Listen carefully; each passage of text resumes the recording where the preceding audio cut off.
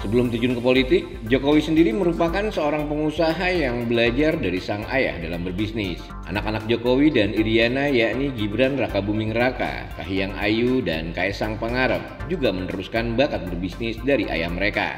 Bisnis keluarga besar Jokowi juga kerap menerima berbagai sorotan lantaran hampir seluruh anggotanya kini memegang kekuasaan di pemerintahan. Gibran Raka Buming Raka adalah Wapres RI periode 2024-2029. Bobi Nasution menduduki kursi wali kota Medan, sedangkan Kaisang menjadi ketua umum PSI. Lantas seperti apa bisnis keluarga Jokowi yang meraup cuan melimpah ruah?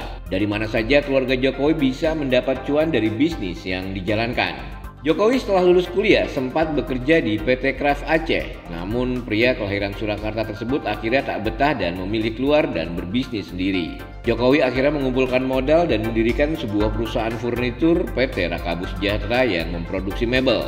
Setelah menjadi presiden, Jokowi menginvestasikan pendapatannya selama berbisnis dan hingga kini mengantongi harta kekayaan sebanyak 95,8 miliar. Gibran sebelum turun gunung berpolitik juga merupakan pebisnis di bidang kuliner. Gibran mampu menumpuk kekayaan bersih senilai 26 miliar dari gurita bisnisnya. Suami Selvi Ananda ini mendirikan sebuah usaha catering cili pari di Solo yang hadir di berbagai acara besar seperti pernikahan.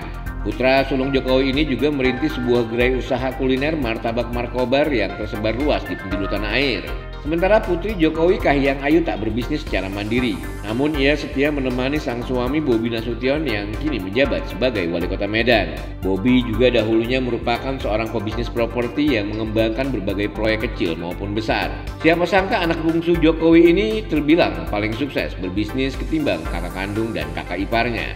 Kaisang tak mau kalah dengan sang kakak dan menjalankan berbagai gerai kuliner seperti sang pisang yang mengolah berbagai macam kuliner berbahan dasar pisang. Bisnis gerai ayam ayam yang menjual berbagai hidangan ayam juga ternyata adalah hasil rintisan anak bontot Jokowi ini.